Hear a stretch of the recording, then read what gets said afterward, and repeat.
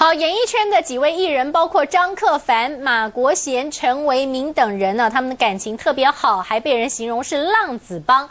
不过他们在市民大道上的烧肉店里面大口抽烟，让其他桌的客人呢猛吸二手烟，遭人白眼。小钟今天他就出面了，他不但没道歉，还开玩笑的说不是抽烟，是在吃山药。不过马国贤呢却出来向大家道歉。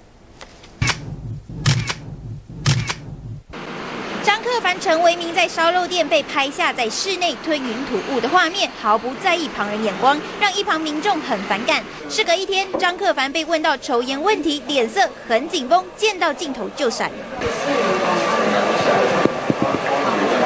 身为公众人物，却做了最坏的示范，一同出游的小钟出面还家。哎，他可能是那个吧，吃那个山药吧，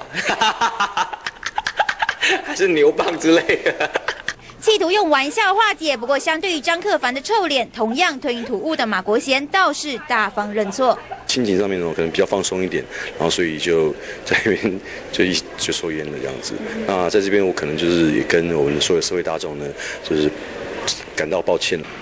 政府早就明定不能在室内抽烟，违规经检举可开罚两千元。只是公众人物应该更加警惕自己的一言一行。中天新闻蔡国旭、林文婷台北采访报道。